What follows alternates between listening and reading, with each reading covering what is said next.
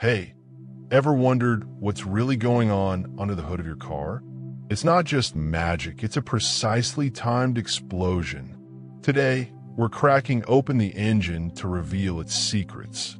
Let's break this down. First, the intake valve opens and the piston drops.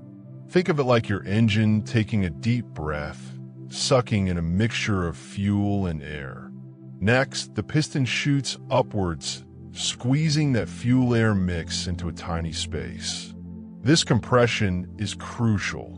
It's like coiling a spring, storing potential energy for the bang. Here's where the magic happens.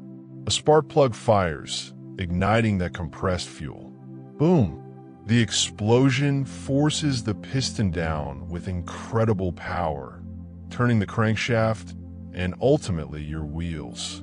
Finally, the exhaust valve opens. The piston rises again, pushing out all the burnt gases, clearing the stage for the next cycle. And the cycle repeats.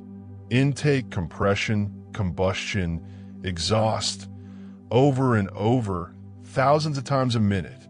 It's a relentless dance of power.